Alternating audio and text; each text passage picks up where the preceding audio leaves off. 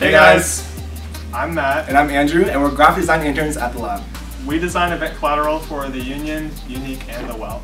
This internship is really great because you get a lot of creative freedom in your projects, you get the opportunity to learn from different mentors, and you also can gain a vast knowledge of different design styles. Oh, and it's paid too. Apply by April 7th at ueijobs.com. Fingers up.